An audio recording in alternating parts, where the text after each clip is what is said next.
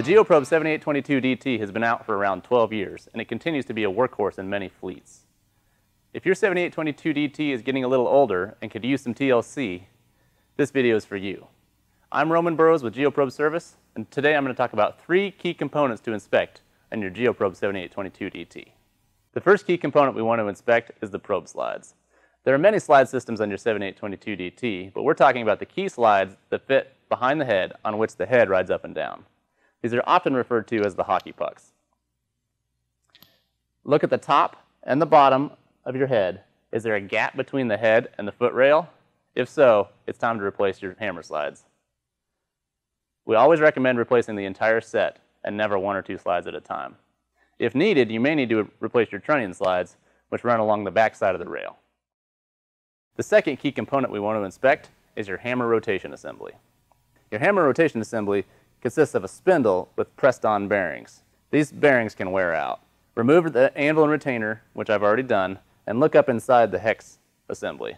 Is it still hex shaped or is it rounded? If it's rounded, it may need to be replaced. Also inspect the outside of the spindle for cracks. If there are any cracks, it may need to be replaced. You can grab onto the outside of the spindle and try to wiggle. If it has any play at all, the bearings need replaced. As a note of caution, while you're inspecting your hammer rotation assembly, you never want to reach your hand up inside the spindle assembly. In doing so, you may come in contact with the hammer piston. It's important to maintain your spindle assembly even if you don't use it very often. We found that a worn out spindle assembly can adversely affect the hammering ability of your percussion cell. The third key component we want to inspect is your auger hoses, swivel fittings, and two-speed wiring. These components are out in the open and they receive a lot of wear and tear. They're in the weather, they can be hit with, a, with casing or with a swinging winch hook. Inspect your hoses. If they're scuffed, you need to be replaced, just like this one has been right here. These are high pressure hoses and very important to keep in good condition.